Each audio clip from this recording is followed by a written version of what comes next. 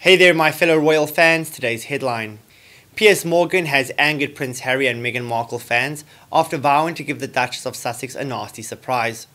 The former GMB star has shared the news in his new column in The Sun, with him promising to have the last word over Meghan, who he has an infamous feud with.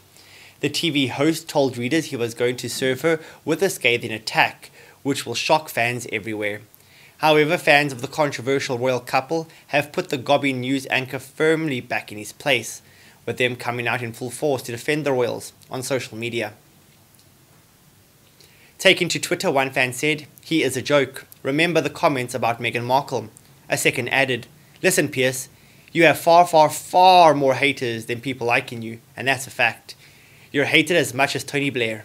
Well, a third wrote, I think Meghan might have been right about you the whole time and a fourth typed, coming from a so-called white privileged idiot in TV. Stay in your lane, dude.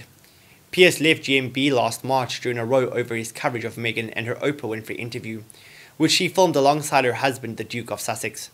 In the column, Piers also accused Meghan of trying to cancel him, following his refusal to apologize over his comments regarding her Oprah interview last year.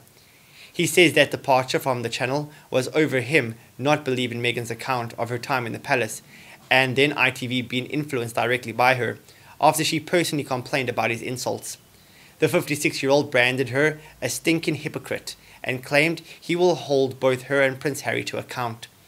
Speaking to The Sun, he said, Pushy little Princess Pinocchio tried her utmost to cancel me, and she will be in for a very unpleasant surprise when I emerge like Lazarus from my den.